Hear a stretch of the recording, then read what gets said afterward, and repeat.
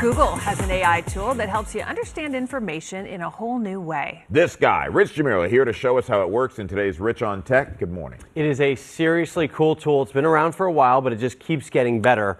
Imagine feeding your notes into AI and getting a podcast back to listen to. It's a helpful tool anyone can use to better understand information. And recently, I met up with some students who are using it to study smarter.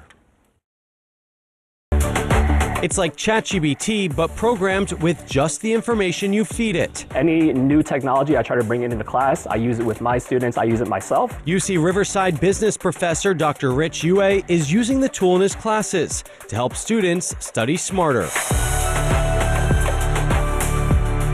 So it's like the AI products that many people use today. However, it is trained on your notes, and then therefore you know where exactly these answers are coming from. The tool is called Notebook LM built by Google as an experiment to help users tap into their own knowledge base.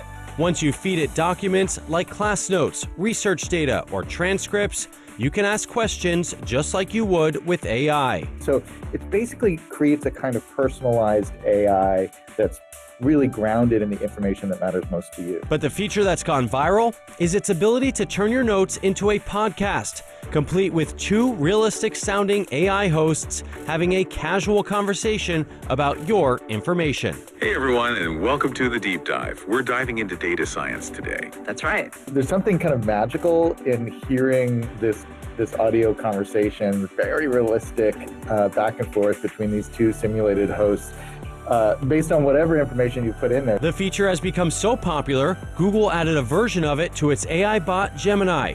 Just upload a document, then look for the shortcut that says Generate Audio Overview. What actually defines life on Earth? Yeah, we're looking at some introductory biology materials to you know, figure out the common thread. Exactly. Students say the podcast feature helps them absorb information on the go. The podcast feature just made it easier to digest in a different sense because it's narrating it to you and it's a conversation you're listening to. AI tools in the classroom are here to stay, with professors adapting how they teach. I think students are going to have this as a skill, just like you would need a skill in finance or accounting to go into business. They're going to need to know how to work with AI instead of against AI. And students embracing new ways to learn. Really, it's just the, the scope of these artificial intelligence tools of just being able to help with anything that I really appreciate.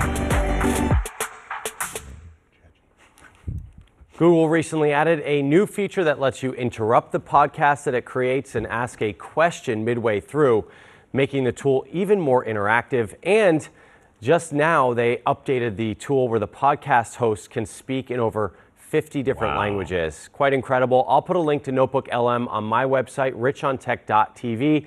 Uh, if you want to try this out, you can also try out the audio overview feature in Gemini.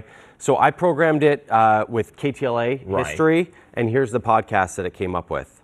When you think about uh, the real early days of TV, especially here in Los Angeles, it feels almost like ancient history now, doesn't it? It really does. And right so these there, are audio, these are AI voices. Wow. Channel 5. And it's all programmed pioneer. on the history yeah, of KTLA. dig into the story of KTLA today. Yeah, and I wasn't just And so this is uh, about a 16 minute podcast that you can listen in your car. So if that you're studying amazing. a topic or you just have information about something, yeah. feed it in here and it generates this on the fly and it's just it's just a new way to learn and absorb right now people are paying more attention and they're like wait where, they, where do they yeah. go to find that again so uh, richontech.tv i'll put the link it's called notebook lm but you can also try it in gemini which is google's answer to chatgpt gotcha. if you just upload a file like a pdf of anything you'll get this little icon that says generate audio overview you tap that It'll make the podcast in a minute or two. It's it's my new way of learning about right. all the gadgets I test. I'll just feed the information in there, right. and I'll hear all the specs just spoken yeah. about.